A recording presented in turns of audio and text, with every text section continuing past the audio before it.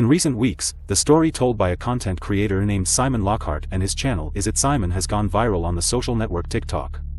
Simon is a boy who lives in Rhode Island, USA, he was famous for the paranormal investigations of the Warren spouses and many other ghost hunters and where the real cottage that inspired the film entitled The Conjuring resides. This guy, who has always dealt with very normal things on social media like his YouTube channel with gameplays and video game reviews, started posting special videos during his shifts as a security guard at a hotel. In these videos Simon tells that the hotel is haunted by a ghost and shows the paranormal activity of which he is the protagonist every time he is at work. Let's start by saying that we are Simon followers, we love his contents, as he was able to create them and we find them brilliant. What you are about to see is a simple content analysis from a concrete point of view. So, let's see the first video together. I do security at a hotel. I was making a video of where I go when I'm doing my rounds.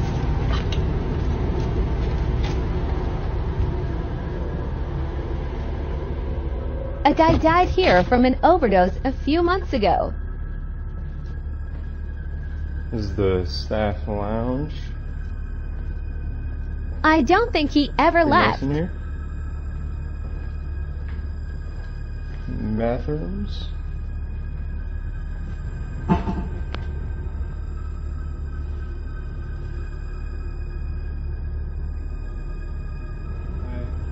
Nah, nah, nah. Fuck that. In this video he tells that he works where a person died of an overdose a few months ago and according to him, this person's ghost is still in the hotel. Many people die in hotels all over the world, this does not mean that a hotel can be declared haunted. In the comments then they point out to Simon that the voice that says, hey, is clearly identical to his own, he defends himself by declaring that he thinks this entity is imitating him.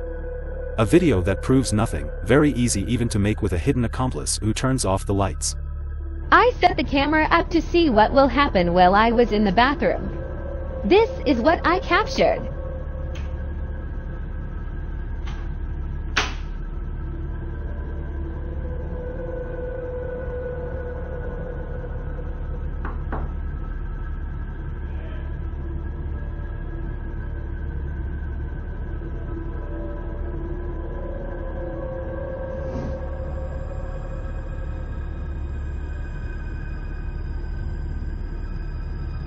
In the second video, Simon places the camera on the table to enter the bathroom. Immediately after he knocks on the same door that has closed because the sound is dark and does not propagate towards the camera room, afterwards you see a top rail of a chair that is moved near the phone, this trick is also easy to do with an accomplice behind the camera that moves the chair. Even in the video comments people point out these things and obviously it's hard to believe what you see. This happened when I was finishing up my rounds. Hello?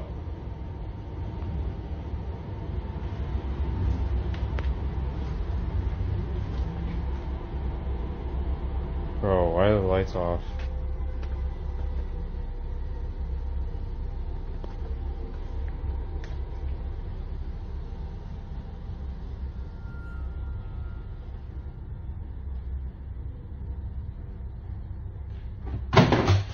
Yep, nope, nope, I'm fucking out. Nope.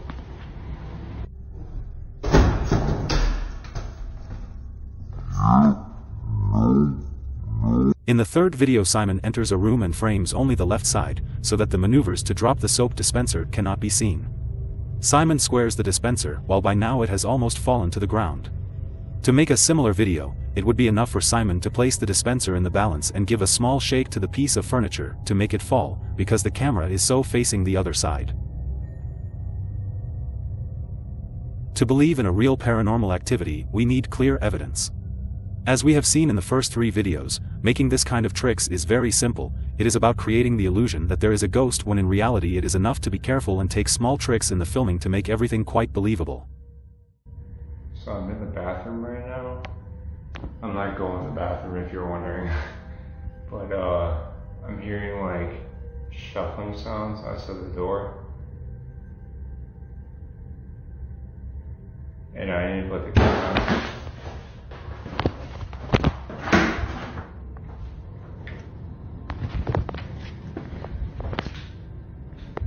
Bro. Bro, what the fuck was that? No.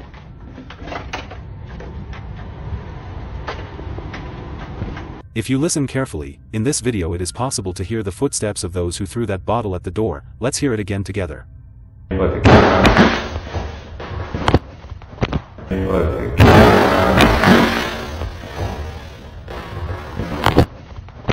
This video does not even need analysis, it is so simple to make or edit for the banality it presents. We are all able to put a voice in a video with the apps that are in the store or place a mobile phone at a distance with the play of this voice. I don't know if you can hear it.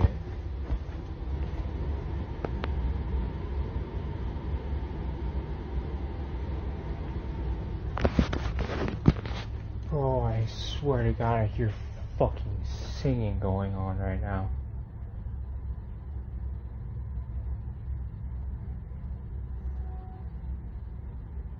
What the fuck was that? Nah.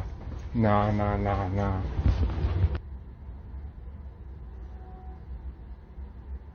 What the fuck was that? Nah. What the fuck was that? Nah. This happened when I was live streaming last night. In part 6 Simon shows an object, apparently a cloth string, with a hanging whistle, swinging slightly. In the comments the followers point out that this thing could be caused by both the wind and a very fine fishing line imperceptible to the camera. Yeah, no, I'm This just happened on my live stream.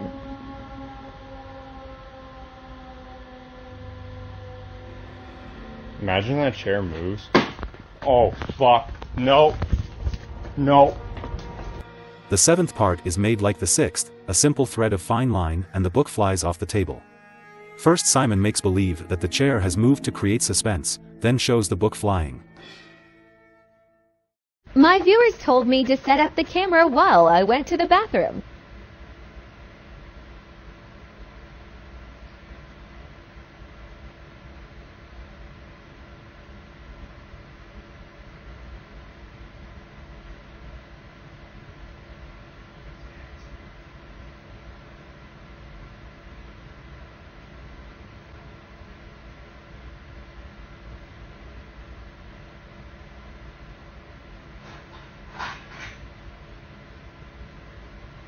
In the eighth Simon pretends to have gone to the bathroom according to an alleged request that came in a comment.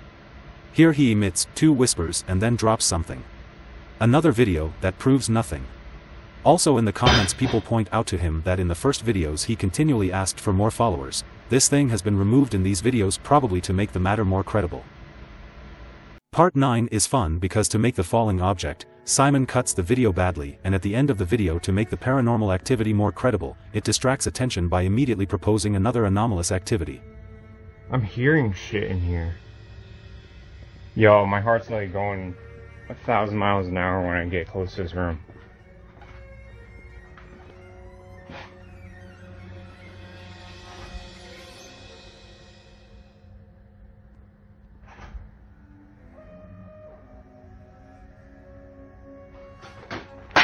Yo, fuck that. Fuck that. Yo.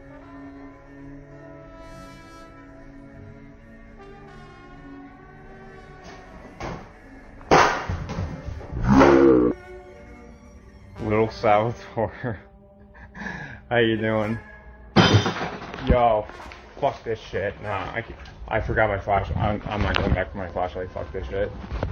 Hey, what's up, everyone? Uh, if you guys are wondering why I haven't been posting lately or, or going live, is because my account is being monitored by my uh, supervisor, and if I post anything like ghost stuff or go live, uh, he threatened that I would get suspended or fired. Victimization is usually used to increase the level of credibility. Appearing a victim in a situation puts the viewer on your side, like in the movies, and makes everything that is done more credible. In the next two videos, Simon says he was reprimanded by his supervisor for shooting ghost videos and making them public in negative publicity for the hotel. In the other video, however, he says that his TikTok account has been hacked. Hey, what's up, you guys? Uh, so someone tried to hack my account. These are only the first 10 videos of Simon, today his channel has reached the 18th part, it means that he is not frightened by ghosts, nor by the reproaches of his superiors. The first part of the investigation on the itzsymon channel ends here, we thank you for watching, and if you like the contents do not forget to subscribe and press the bell for updates, and remember, we live in a logical and mathematically ordered universe, don't believe everything, ask, analyze, and you will solve.